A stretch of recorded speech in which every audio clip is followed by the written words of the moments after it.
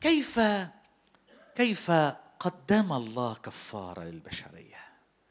كيف قدم الله كفارة للبشرية أحبائي؟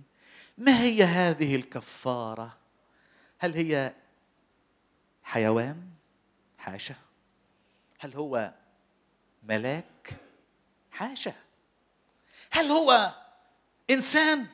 برضه حاشا. عندما قدم الله كفارة للبشرية ماذا قدم أحبائي؟ ماذا قدم؟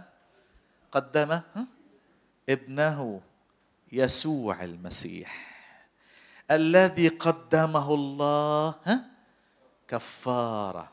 بحب آية في يوحنا الأولى أصحاح أربعة معلش نقراها برضو. تقول إن الله قدم المسيح كفارة. الله قدم المسيح كفارة. على طول هخش الآية دلوقتي بقى. المسيح الكفارة بقى عندما جه أحبائي. ماذا فعل هو على عود الصليب؟ بصوا كده عدد عدد تسعة. من يوحنا الأولى أربعة عدد تسعة وعدد عشرة. يقول بهذا أظهرت محبة الله فينا أن الله قد أرسل ابنه إلى العالم لكي نحيا به. وبعدين؟ يلا اقروا معايا الآية الحلوة اللي جاية. اقروا معايا حضراتكم. في هذا هي المحبة. ليس أننا نحن أحببنا الله. مين مين اللي بادر بالحب؟ مين اللي بادر بالعطاء يا إخواتي الغاليين؟ ليس أننا نحن أحببنا الله بل أنه هو أحبنا. مين يكمل معايا؟ اقروا معايا. وأرسل ابنه ها؟